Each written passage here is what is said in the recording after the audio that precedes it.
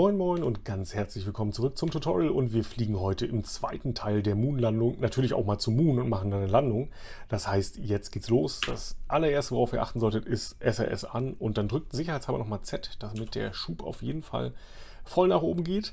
Und dann starten wir und wir sollten eigentlich sofort so ein Blinken bekommen weil wir nämlich unsere Testmission abgeschlossen haben. Das klicke ich mal kurz weg. So, und jetzt geht es erstmal relativ steil nach oben. Das ist auch eine ziemlich gute Sache. Wir müssen nämlich gucken, dass wir Höhe gewinnen äh, mit dieser Rakete, damit unsere Triebwerke effizienter werden. Ähm, was wir einleiten können, ist dann so ein ganz leichter Gravity Turn schon mal. Leider kann die Pilotin ihn jetzt nicht von, äh, von Hand fliegen.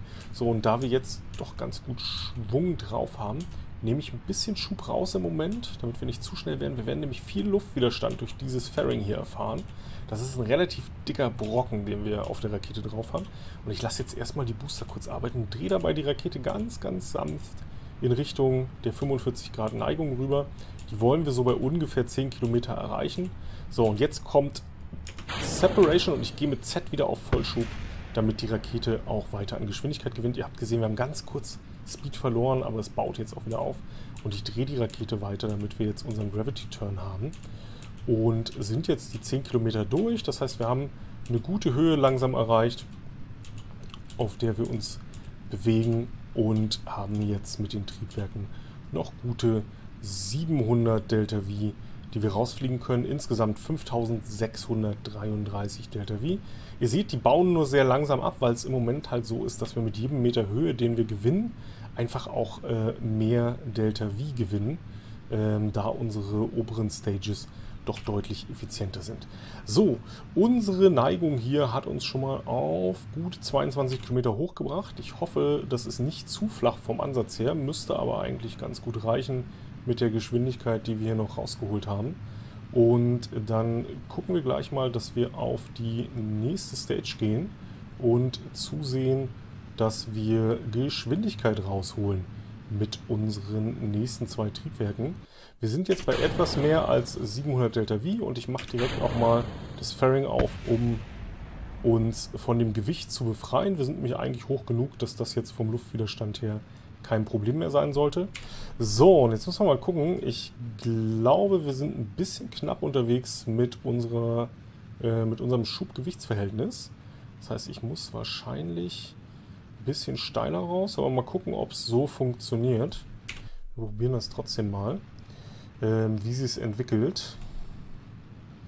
Und lassen das jetzt erstmal einfach ganz gemütlich ausbrennen. Wir haben noch knappe 700 Delta V auf der Kiste drauf. Die Apoapsis kommt auch nur sehr langsam näher, beziehungsweise jetzt eigentlich schon gar nicht mehr. Das heißt, es sieht gut aus, dass wir mit der Kiste so fliegen können.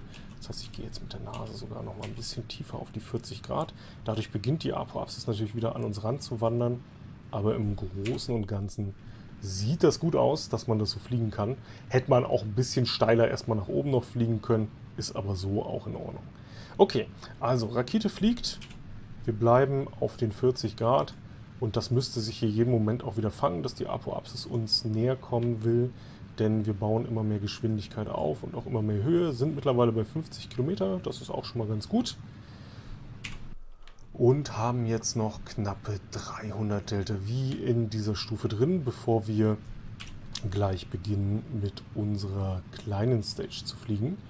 Und jetzt lasse ich ihn bewusst mal auf dieser Gradzahl, damit er einfach ein bisschen die Höhe noch macht, äh, mit dem Triebwerk, solange wir das noch nicht komplett brauchen, denn die nächste Stage wird nochmal ein ganz kleines bisschen weniger Leistung am Anfang haben.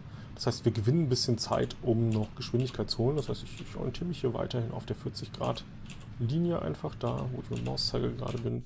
Seht ihr das und warte jetzt eigentlich auf den Burnout dieses Triebwerks und gehe auf unsere finale Stage, was das Triebwerk angeht zumindest. Da seht ihr jetzt, die ist natürlich ein bisschen schwächer ausgestattet ähm, mit, äh, was den Schub angeht. Wir sind aber mittlerweile relativ gut unterwegs. Wir haben 1400 Meter äh, pro Sekunde an äh, Umlaufgeschwindigkeit und haben jetzt immer noch 30 äh, Sekunden Zeit bis zur Apoapsis. Mit der 40 Grad Neigung können wir die auch ganz gut halten. ähm, und haben schon knappe 60 Kilometer Höhe. Ihr könnt jetzt beginnen, wenn ihr so die 1500, 1600 Meter pro Sekunde erreicht habt, ähm, können wir dann langsam beginnen, auch dann gleich mal ein bisschen runter zu pitchen, äh, also quasi den Orbit noch flacher zu fliegen. Es schadet aber nicht, dass das jetzt noch ein bisschen stärker angestellt ist. Wir haben sehr, sehr gute Schubreserven. Also wir werden für die gesamte Reise zum Moon so ungefähr hin und zurück, ah, sagen wir mal, nicht ganz 3000 Delta V brauchen. Und ähm, das heißt, alles, was da jetzt oben drüber noch geht, das ist überhaupt nicht schlimm, wenn wir das hier jetzt gerade beim Start und Orbit-Zirkularisieren verbrennen. Ähm, genau, also jetzt, wenn wir, wie gesagt, so die 1600 durchbrochen haben, können wir langsam ein bisschen flacher pitchen, weil es mehr um Geschwindigkeit geht als um Höhe. Wir sind auch fast aus der Atmosphäre raus mit 70, also hier hinten sind wir bei den 70 Kilometern, wir selber sind jetzt noch nicht ganz bei den 70 Kilometern, aber ihr seht, jetzt reicht auch dieses Triebwerk mittlerweile völlig aus, um uns ganz gut auf Kurs zu halten. So, jetzt ist Weltall angesagt, ihr hört's. Und ich gehe noch ein bisschen tiefer mit der Nase, damit wir jetzt auf 10 Grad unsere Orbitalgeschwindigkeit fertig machen. So, und dann sollten wir jeden Moment, wenn wir ein bisschen rausscrollen, also bei 2200 Meter pro Sekunde wird das der Fall sein, dass wir dann in einen Orbit einschwenken, so wie wir es auch schon vorher hatten. Ähm, hier diese Zeit zur Apoapsis könnt ihr damit kontrollieren, dass wenn ihr seht, die baut sich sehr stark auf, könnt ihr flacher gehen. Wenn ihr seht, sie kommt euch sehr, sehr nahe, dann könnt ihr ein bisschen steiler fliegen, also mehr in diese Richtung gehen, ähm, um sie vor euch herzutreiben und nicht wieder in die Atmosphäre zurückzufallen. Weil letzten Endes, wenn ihr über den AP-Punkt drüber seid, beginnt ihr natürlich in eurer Parabel wieder auf Körben zurückzufallen und das wollt ihr im Regelfall nicht weil es halt schlicht und ergreifend ähm, euer Raumschiff wieder abbremst. So, ich gehe jetzt noch auf knappe 5 Grad Pitch. Wir sind bei fast 2200 Metern pro Sekunde angekommen. Da seht ihr jetzt auch relativ schnell, unsere Umlaufbahn streckt sich. Das kennt ihr aber auch schon von unserem Orbitflug oder auch von unserem Moon-Vorbeiflug. Also keine, keine großen neuen Geheimnisse. Und jetzt gibt es gleich einen großen Schwung. Wir kriegen unsere Periapsis und unsere Apoapsis beginnt sich relativ schnell um den Planeten zu drehen. Die tauschen sich aus und schwupp sind wir im Orbit. Ich lasse das jetzt so lange laufen, dass unsere Periapsis auch über 70 Kilometer ist. Und gut ist es. Damit haben wir jetzt noch 3200 Delta V übrig. Alles super entspannt. Äh, damit können wir locker zum Mond fliegen und damit heißt es jetzt als Ziel setzen. Und es gilt wieder diese lustigen, oh, so ungefähr ne, Viertelorbit, Achtelorbit, ungefähr irgendwo da so den Moon abzufangen. Vielleicht, vielleicht können wir es ganz kurzfristig machen. Wenn euch das zu hektisch wird, macht ihr einfach noch einen Orbit. Also, beziehungsweise heißt das ja nicht automatisch, dass ihr ihn so getroffen habt. Ihr seht, wir haben hier direkt einen relativ guten Treffer in einigen wenigen Sekunden. Wir müssen eigentlich auch gleich das Brennen anfangen. Ich glaube, wir nehmen den einfach so. Das ist, doch, das ist doch ein schöner Übergang. Wir können einfach direkt weiterfliegen. Das heißt, wir zünden direkt wieder unser Triebwerk und fliegen weiter Richtung Moon. Genau, da kriegt ihr diesen blauen Marker. Eventuell habt ihr dann natürlich noch irgendwie einen halben, dreiviertel oder einen ganzen Orbit, den ihr nochmal dazwischen packt. Und dann damit eure Kiste äh, abbremsen könnt. Gut, ja, abbremsen, beschleunigen könnt natürlich, um Himmels Willen. So, das Ganze dauert jetzt einen kurzen Moment. Ihr seht, äh, 1 Minute 44 insgesamt Schubzeit, weil wir natürlich mit einem relativ effizienten Triebwerk fliegen. Das hat eine hohe Effizienz, aber wenig Leistung, das heißt lange Brennzeit. Ähm, wenn ihr mit ein bisschen mehr Puffer unterwegs seid, ist das auch nicht schlimm. Und was passiert? Natürlich, unsere Apoapsis drückt es jetzt die ganze Zeit nach außen und wir werden nachher in einem 500 Kilometer Höhe Vorbeiflug am Moon entlang kommen und dort gucken, dass wir unsere Moonlandung zustande bringen. Ähm, worauf ihr dabei achten solltet, ist, überschießt nicht zu sehr. Äh, guter Indikator ist immer, wenn euch der dann danach, dieser prognostizierte Orbit, rausschießt aus äh, dem Kerbin-System, dann könnt ihr vielleicht auch einfach ein bisschen weniger Gas geben. Ähm, und guckt, dass ihr einen Periapsis habt. Also 0 Meter bringt. 0 Meter hat den Vorteil, ihr spart sehr viel Sprit beim Bremsen am Moon. Der Nachteil ist, ihr geht halt drauf. Äh, einfach weil ihr eine sogenannte Lito Break vollführt. Eine Lito Break ist, wenn euer Kurs auf dem Moon endet. Äh, Lito steht in diesem Fall für Stein bzw. Fels. Äh, und den Rest könnt ihr euch sicherlich herleiten, was das ungefähr bedeutet. So, wenn jetzt äh, der ganze Part fast durch ist, gehe ich mit Steuerung ein bisschen runter mit dem Schub. Also ich nehme den Schub jetzt hier auf ein Minimum runter, damit ich relativ exakt noch nachkorrigieren kann und sehe, okay, da kommt mein Kurs rein. Und ich nehme den jetzt ruhig noch ein bisschen näher, weil ich gerne schon mal in einen tieferen Orbit einschwenken will. Und wenn das gerade so gut klappt, warum denn nicht? Ansonsten lasst ihn halt einfach so, wie es ist. Ich persönlich gehe jetzt mal für unseren Anflug auf eine Orbithöhe von 20 Kilometer runter, weil wir so oder so landen wollen. So, und da werden wir dann bremsen und unsere Mondlandung ansetzen oder unsere Moonlandung. So, wie ihr seht, haben wir jetzt noch 485 Delta V. Davon werden wir ungefähr 300 dann noch bei der Bremsung in den Orbit verbrauchen und den Rest in der Landung. Das heißt, was jetzt passiert, ist, ähm, dadurch, dass wir relativ viel von dem Treibstoff aus diesen Gondeln verbraucht haben für, ähm, für den äh, Kerbin Orbit noch, werden wir wahrscheinlich mit leeren Gondeln landen. Das ist nicht schlimm. Lasst die aber bitte auf jeden Fall noch dran, weil da sind eure Landebeine dran, bis ihr wieder startet vom Moon. Nur um es vorher mal gesagt zu haben. Nicht, wenn der Treibstoff hier als leer angezeigt wird, äh, dann fliegen wir natürlich noch mit diesem Treibstoff weiter. Also das Ding fliegt immer noch. Bitte staged nicht eure Landebeine weg, okay? Danke. So, was man jetzt noch machen könnte, wäre hier die Antenne ausklappen. Ich glaube, ich habe in meiner Genialität eine gesamte, eine, eine leichte Überlappung hergestellt, aber es scheint zu gehen vom Clipping her. Äh, wird, besser, äh, wird später besser aussehen. Ähm, ich klappe sie aber erstmal wieder ein, weil ich habe im Moment noch nichts zu funken. Äh, das ermöglicht euch aber, dass ihr sowas wie Crew-Berichte, sowas wie EVA-Reports natürlich nach Hause senden könnt.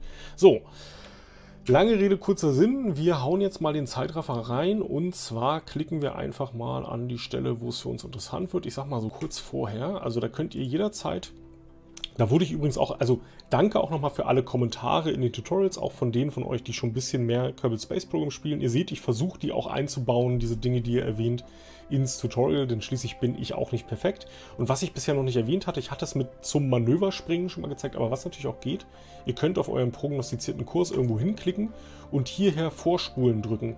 Dann müsst ihr mit dem Zeitraffer nicht wild hin und her klicken mit Punkt und Komma und Tralala, wie ich euch das bisher immer gezeigt habe, sondern ihr fahrt dann einfach ganz gemütlich an diese Stelle und der Zeitraffer wird dort beendet. Eine zusätzliche Information, ihr könnt mit Bindestrich, darauf bin ich hingewiesen worden, das wusste ich auch tatsächlich selber noch nicht, weil ich diese Taste noch nie benutzt habe. Mit Bindestrich könnt ihr auch jederzeit komplett hart aus dem Zeitraffer rausgehen und ihn auf Null setzen. Das heißt, wenn ich jetzt zum Beispiel mal auf zehnfach Zeitraffer gehe, wurde mir gesagt, mit Bindestrich geht das. Und ich wurde betrogen. Seht ihr das? Ich wurde betrogen.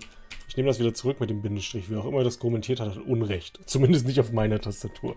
So, alles klar. Jetzt werden wir hier ein Manöver machen, um zu bremsen. Ihr könnt das, ihr könnt das einplanen oder ihr könnt das einfach fliegen. Das ist so ein bisschen gehüpft wie gesprungen. Am Anfang macht es wahrscheinlich Sinn, wenn ihr es einplant. Und was ihr wollt, ist ein Orbit, der euch so ungefähr auf 2020 bringt also 20 Kilometer, 20 Kilometer. Und ihr seht, meine 300 äh, Delta V, die ich äh, angemerkt habe, sind auch immer schon mit einem gewissen Puffer. Also diese Delta V Maps, wenn ihr eine sucht und nicht wisst, was eine Delta V Map ist, guckt bitte in den Videokommentar. Da ist ein Link zu einer Delta V Map. Das funktioniert wie so eine Straßenbahnkarte. Wer natürlich jetzt nicht aus einer großen Stadt kommt, Pech. Ihr müsst lernen, wie man Straßen- oder U-Bahn-Karten lernt, äh, liest. Meine Güte, was habe ich denn heute für Sprachfehler? So, also den könnt ihr euch einplanen. Und äh, ihr kriegt dann wieder das schöne blaue Manöver, das ihr gleich machen könnt. Und das ist in 10 Minuten der Fall. mit dem werden wir uns erstmal, so wie wir uns in, bei Kerbin in einen Park-Orbit begeben haben, um zum Moon zu fliegen, werden wir uns hier in einen Park-Orbit begeben, um uns ein schönes Landeziel auszusuchen. Ich werde natürlich jetzt was aussuchen, was ich mir halt jetzt aussuche für unsere Mission. Achtung, wichtiger Hinweis, ihr dürft woanders landen, okay?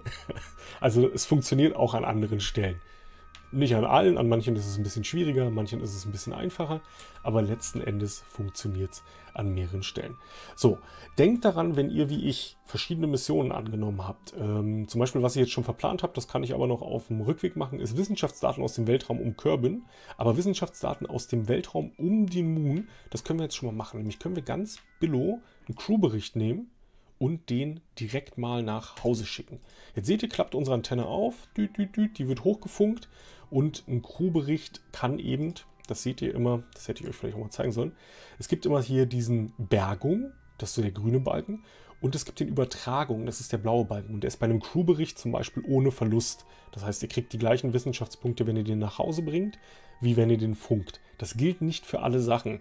Das gilt zum Beispiel nicht, jetzt gucken wir mal, ob wir das hier schon hatten, mysteriösen Schleim. Seht ihr, wir würden noch 4,6 Wissenschaftspunkte bekommen, wenn wir den nochmal mit nach Hause bringen. Aber wir würden nichts mehr bekommen, wenn wir das per Funk übertragen, weil wir das schon mal getan haben und der dann nicht mehr so viel wert ist. So, jetzt haben wir diesen Auftrag nämlich auch schon abgeschlossen, kassieren die Kohle dafür und denkt da einfach bitte dran, wenn ihr noch zusätzliche Sachen habt, sowas wie mein TD12 den ich seit langer, langer Zeit ignoriere, ähm, macht das auch wirklich, damit ihr diese Sachen bekommt. Gut, jetzt sind wir noch acht Minuten entfernt. Ich hau ein bisschen Zeitraffer rein, damit Valentina das auch noch schafft, bevor sie äh, Narkolepsie bekommt.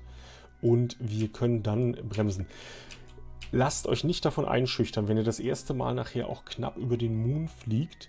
Lasst euch nicht davon einschüchtern, dass das so aussieht, als ob ihr ganz schnell seid und gleich irgendwo gegenknallt. Es ist alles gut, wir sind immer noch 40, vertraut diesen Zahlen hier, wir sind 40 Kilometer hoch. Ähm, alles ist wirklich, wirklich total super, okay? Ihr müsst euch keine Sorgen machen. Unsere Schubzeit wird 28 Sekunden betragen, also wieder ungefähr, sagen wir mal, bei minus 12, minus 10 bis minus 12 Sekunden werde ich es anschmeißen, damit wir unsere, unseren Schub ungefähr um das Manöver verteilen. So, machen wir minus 15. Zack. Los geht's. Das dauert einen kurzen Moment, macht uns jetzt wieder langsamer und sorgt erstmal dafür, dass wir nicht wieder zurück in eine Kerbin-Umlaufbahn geraten, sondern dass wir jetzt erstmal in einer Moon-Umlaufbahn bleiben und uns überlegen können, wo wir als nächstes landen wollen. So. Ich glaube, ich weiß schon, wo ich landen werde. Aber das dürft ihr auch, wie gesagt, anders entscheiden. So, Zack. Triebwerk aus, wenn ihr es ungefähr habt. Hier haben wir jetzt 20 zu 22 Kilometer. Das ist völlig in Ordnung. Und wir haben jetzt noch ein paar hundert Delta V in unsere, äh, also ein paar hundert Meter pro Sekunde, 202 um genau zu sein, äh, Meter pro Sekunde in unserem Tank. Ihr seht, wir haben 543 Meter pro Sekunde Umlaufgeschwindigkeit. Und was wir jetzt machen werden, ist uns einen Punkt aussuchen, wo wir landen. Was natürlich sehr markant ist, ist der große Krater. Das heißt, wir werden jetzt mal gucken, dass wir... Hm, irgendwo am, am Kraterrand. Vielleicht gehen wir hier in dieses große Bassin rein. Mal gucken. Ähm, genau, was ihr jetzt vorbereiten könnt, ist eigentlich euer Landemanöver. Ihr könnt euch jetzt aussuchen mit einem Manöver, wo wollt ihr eigentlich hin. Das prognostiziert ihr jetzt erstmal so in diese Richtung. Zack. Und könnt dann ungefähr sehen, ja, so passt das. Ich persönlich bin großer Freund davon, wenn ich hier landen will, etwas zu overshooten, also ein bisschen drüber zu gehen, denn wir werden nachher nochmal bremsen. Und dieses Bremsen wird natürlich dazu führen, dass unser Kurs auch noch ein bisschen kürzer wird. Und äh, da wir nicht möchten, dass wir dann irgendwie viel zu knapp reinkommen, äh, guckt ruhig, dass ihr ein bisschen overshootet, das Ganze wird ein bisschen kürzer nachher noch. So, Lange Rede, wieder mal. Ähm, wir fahren jetzt einmal um den Moon rum. Was wir noch gucken können, jetzt können wir nämlich mal schauen, ich wollte ja noch überprüfen, ob ich hier schon mysteriösen Schleim gemacht habe. Ja, habe ich schon. Das heißt, wir behalten den erstmal. Vielleicht können wir den auf dem Moon noch irgendwie verwenden. Wir sind nämlich eigentlich ganz luxuriös unterwegs, weil das dürfte eine Biomgrenze sein. Ähm, ob wir da nicht irgendwie nochmal einen kleinen Hop machen können, das entscheide ich aber nach der Landung, wie es mit unserem Treibstoff aussieht.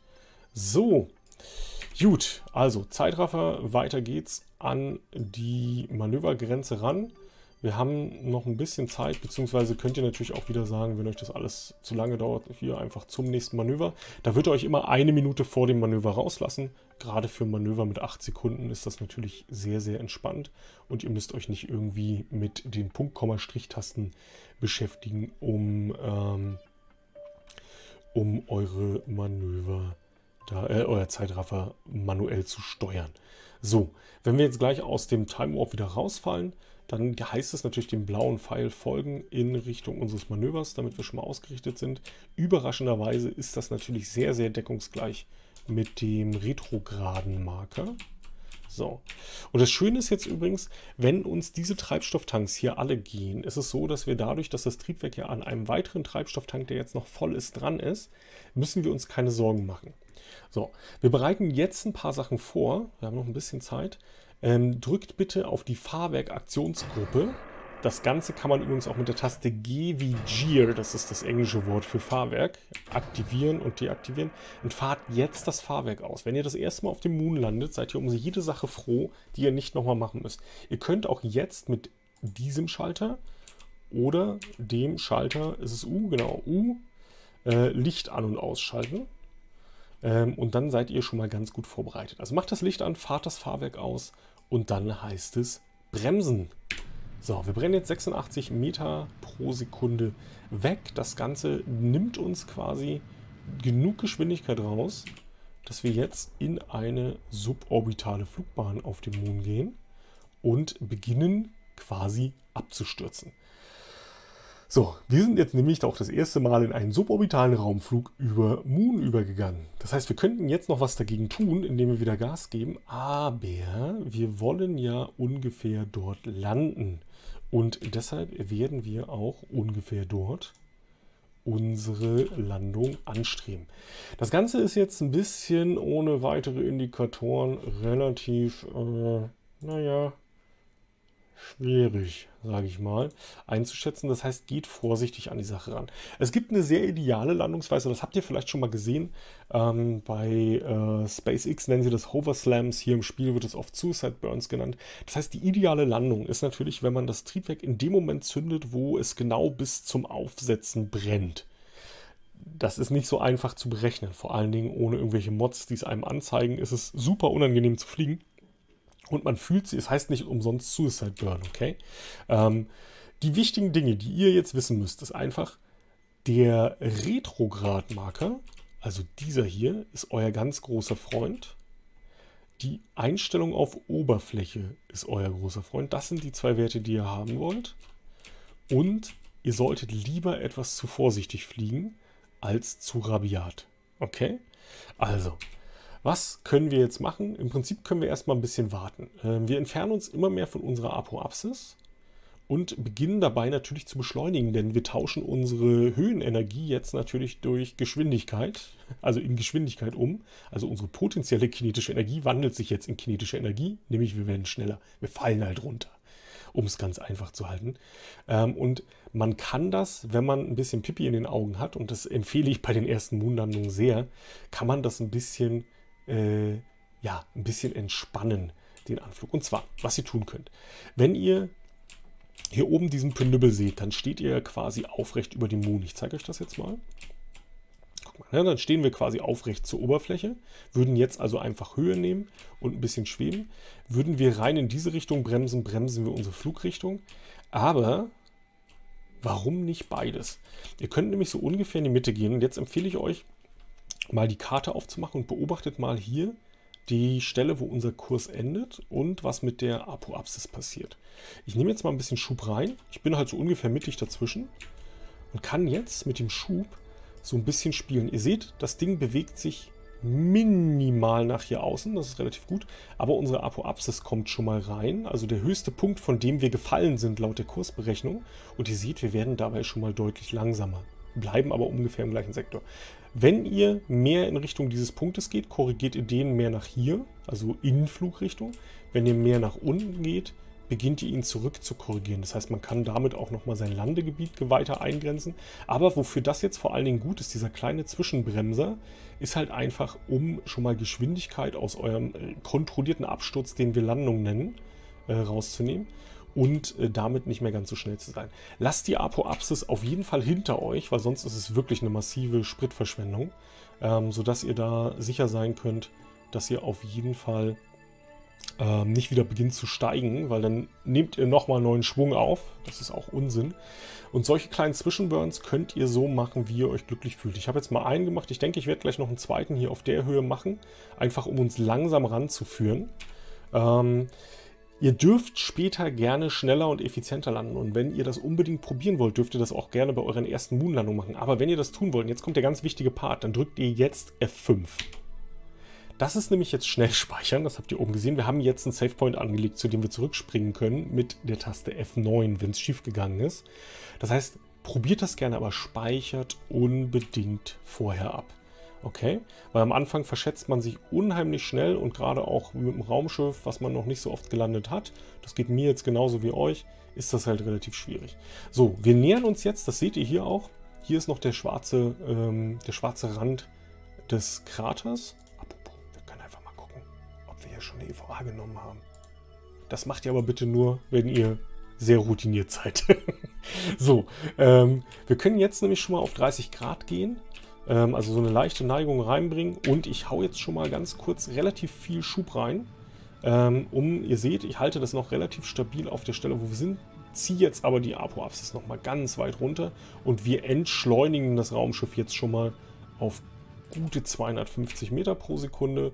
Das ist wieder ein Stück weit angenehmer als vorher und macht die Landung wieder ein Stück einfacher. So, ihr seht, wir sind hier auch relativ weit runtergebrannt. Hier äh, nicht so. Hier ist noch äh, einiges an Treibstoff drin. Hoffentlich natürlich deutlich mehr als 55 Meter pro Sekunde. Ähm, das ist jetzt gerade von der Anzeige her etwas schwierig, weil er von anderen Dingen ausgeht, die wir tun. Okay, wir sehen noch nicht so ganz unseren Krater da hinten, zu dem wir wollen. Und wir beschleunigen jetzt natürlich auch wieder. Und ich würde sagen, wir können jetzt mal... Ach, guck mal. Ein Bogen. Das ist doch schön. Was Spannendes gefunden. Ich wusste, dass hier irgendwo ein Biom ist, aber ich habe nicht gedacht, dass ich es tatsächlich direkt treffe. So, ich würde sagen, wir setzen jetzt mal hier zur Landung an und probieren das da anzupeilen. Das heißt, wir gehen jetzt einfach retrograd und beginnen zu bremsen. Und zwar kräftig. Ich gehe jetzt ein bisschen höher über retrograd drüber damit wir einfach gucken, dass wir hier jetzt drin bleiben. Zack. So, Apoapsis darf uns nicht überholen. Und jetzt ist es eigentlich unser Retrograd-Marker. Es ist vor allen Dingen eine seitliche Bewegung, die wir noch ausgleichen müssen. Und die werden wir uns jetzt gleich zu Gemüte führen, indem wir einfach auf diesen Marker draufgehen und jetzt schon mal gucken, wenn wir so ungefähr auf Höhe unseres Bogens da sind. Oh, ein bisschen geht noch, ne? Wir haben noch 9400 Meter Höhe. Wie gesagt, das ist so ein bisschen... Es ist wichtig, dass ihr den Quicksave macht, weil es ist am Anfang ein bisschen Fummelei und rausfinden. So, ich gehe jetzt mal nochmal deutlich in die Eisen, auch um unsere seitliche Bewegung schon mal zu reduzieren. Das sieht auch ganz gut aus. Wir haben im Moment eine Trust-Weight-Ratio von, also eine Schubgeschwindigkeitsverhältnis von 7,01. Das heißt, wir können wirklich sehr stark bremsen, wenn es drauf ankommt. Aber achtet darauf, dass eure Geschwindigkeit einfach nicht zu hoch wird. Und ich sag's euch jetzt einfach mal, bevor der erste Crash stattfindet. Ich habe bei meiner ersten Moonlandung auch echt viele Anläufe gebraucht, okay? Ich mache das einfach schon ein bisschen länger, deshalb klappt es mittlerweile. Seid nicht frustriert, wenn es nicht beim ersten Mal klappt. Das ist völlig normal. Und es ist noch kein Körbelmeister vom Himmel gefallen. So, man kann das dann auch ein bisschen runterziehen. Also ich lasse jetzt langsam das Triebwerk mitlaufen, während ich zu Boden gehe. Das sieht, glaube ich, ganz gut aus. Jawohl.